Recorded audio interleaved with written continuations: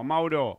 Eh, bueno, tema de este que no, no nos golpea a todos, no duele, son temas, pero es una de las informaciones del momento. Menor de 12 años, sigue el caso y trae también cada vez más información. Sí, sí, negro. Bueno, el viernes se realizó la audiencia de prisión preventiva eh, en contra de, del papá de esta menor de 12 años de Garibaldi, un hombre de 42 años. Se dictó la prisión preventiva para él, no declaró, no más allá de que se pidió algunas medidas, se pidieron por parte de la defensa pública algunas medidas alternativas a la prisión preventiva. El juez entendió que, no, no, no, se podían otorgar por diferentes motivos y a raíz de eso le dictó la prisión preventiva, va a continuar detenido.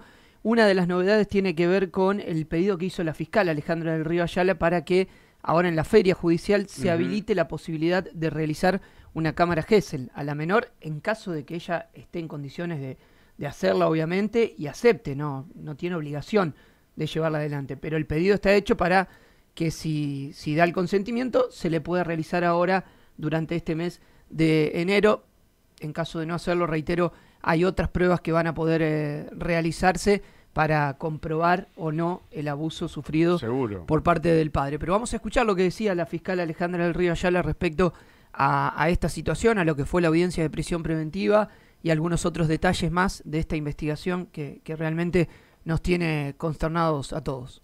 Puso la prisión preventiva del imputado en base a, bueno, la acreditación de los tres incisos del artículo 220, que son el presupuesto para disponer este tipo de medidas. La defensa eh, no acordó directamente, no acordó la prisión preventiva, no obstante no controvirtió el inciso primero porque eh, bueno, el, caudal evidencial era mucho, eh, las circunstancias estaban bastante acreditadas, sobre todo lo que es el contexto, y eh, bueno, la situación de embarazo de la niña y todo lo que ella siempre dijo fue inculpando a una única y misma persona. Eh, la calificación no se controvirtió porque el hecho expuesto claramente es un abuso sexual con acceso carnal y en relación a los riesgos procesales tampoco hubo demasiada controversia. Sí ofrecieron alternativas a la prisión preventiva, que es lo que se hace habitualmente. Eh, no obstante, el juez entendió que, bueno, que no eran suficientes para neutralizar los riesgos procesales que tuvo por acreditados. ¿Qué pena prevé este delito imputado? El abuso sexual tiene una calificado porque es el, eh, por el vínculo, la guarda, la convivencia, tiene una, una, pena que va de 8 a 20 años de prisión. Doctora, este, ¿se habilita este, en la feria la posibilidad de una cámara GESEL?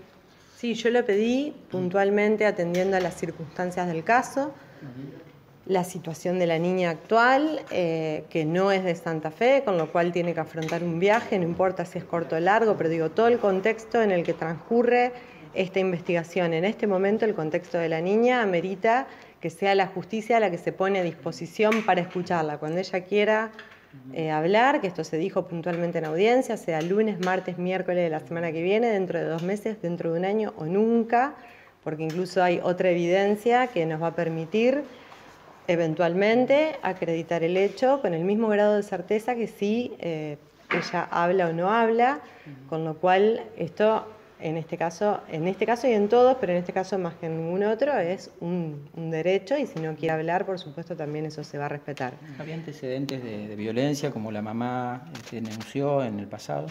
Sí, muchos, muchos y eso también fue objeto de eh, las argumentaciones en audiencia y parte de lo que el juez utilizó para fundar la prisión preventiva. ¿Se le atribuyó alguno de estos tipos de delitos o se le puede llegar a atribuir o imputar algunos de estos delitos de violencia hacia esa mujer? Eh, yo esta investigación, que es la que motivó que sea parte de la casa con sus hijos y que la llevó a estar en una casa de amparo, no la tengo porque está radicada en San Jorge, con lo cual no conozco específicamente en qué consistió esa denuncia, sino que lo que tengo son los informes que le precedieron. ¿El abuso habría sido en una única oportunidad, reiterado en el tiempo, en base a lo que ustedes han averiguado? No, fue crónico.